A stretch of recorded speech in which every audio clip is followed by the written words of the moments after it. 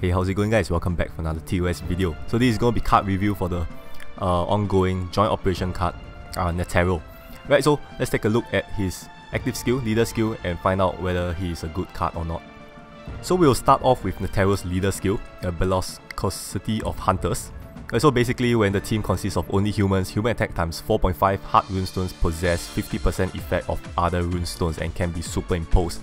Right, so basically, Netero here is going to have the same leader skill as Hisoka. Right, this explains, uh, this, this pretty much says a lot because it's basically a non-jackpot leader skill, right? So which is um, pretty much like on the underwhelming side. Right, so I really expected Netero to have a better leader skill, right? at least maybe uh, velocity of hunters EX and stuff like that, maybe get a higher multiplier, etc. Right, so unfortunately, no. Right, so he gets the same treatment as Hisoka, which makes this card um, pretty much on the down and not really usable kind of category. Right, so it's okay. Right, let's take a look at his Nen skill. Netero Nen power right, is basically the same as Meruem, which restores mass runes as well as monochrome runes into normal state, and that consumes 50% of the Dragonary craft. Right, so this is pretty much the same as Meruem, right? Uh, same as same consumption as Meruem as well, and the condition is to be using Netero as leader. Right, so as I mentioned just now, um, Netero isn't really fit to be a leader, right? Based on his multiplier and stuff like that. Right, even in the trailer video, you can see that um, Netero paired with the three Enchantress, the damage isn't very fantastic, right? So uh, I won't see Netero um, in the current meta at all. Right? Totally, totally not. Um, the damage output is not high enough to be in current meta. That's all I'm gonna say for this card, right? So. Yeah, in terms of leader, not a very good leader, right? So maybe its active skill can make it a good card um, in other teams, right, perhaps. Right, so let's take a look at Netero's active skill. Right, so what you can see here is Netero's active skill at CD8, which converts water runes, uh, fire runes, earth runes into light runes, and dark into hard. And then the on the, the current light and hard runes on the board into enchanted rune stones. Right, so and for one round, the monster launched 10 extra light attacks, as much as 10% of the monster's attack. And then after that, no attack could be launched by the monster in the next round.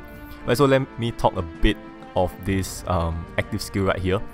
Right, so you can you, you pretty much feel that uh, you have actually seen this active skill somewhere, right? Uh, basically, it's a very copy and paste kind of work, right, for this active skill. Basically, what I can see for the first um, part of the active skill is from Habbo. So here's a side-by-side -side reference of Hubble and Netero. Right, basically, it's the opposite convert of Hubble. Right, Hubble converts water, fire, earth into enchant heart, whereas Netero converts it into light, and then the same, uh, the same opposite goes applies to the light, uh, to the dark runes. Right, so uh, very lazy copy and paste work here. Right, on top of that, we have the second part of the active skill, which is very familiar as well. So what you can see here is Sondra from the Mechanical series. So uh, basically, Sondra does a better job than Netero, right, overall. So Netero launches 10 extra light attack as much as 10% of the monster's attack, and Sondra launches 20 extra light attack as much as 30% of the monster's attack. Right, so number of hits, Sondra is the winner, and then um, the damage output for the, the extra attacks is higher as well. Right, Sondra dealing 30% and Netero doing 10%. Right, so even a bi-weekly card is better than this joint operation card, right? So in my opinion, I feel that it is very, very underwhelming for Netero. But on top of that, Netero can't attack the next round. So, um, why? Right, it makes me wonder why should I even bring this card into battle, right?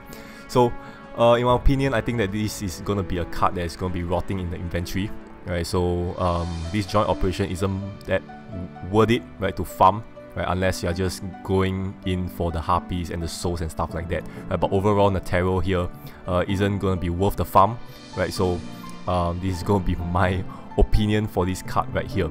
Right, so overall, uh, it, it depends on you guys whether to farm it or not, right? Ultimately, he's the chairman of the Hunter Association. Some guys uh, might be fan of the anime, might just farm it, right? But overall, he's not going to be a useful card in the future as well. Right, so this is going to be card review for the card Netero. Right, if you like this video, do give it a like and then I'll see you guys in the next one. Bye bye.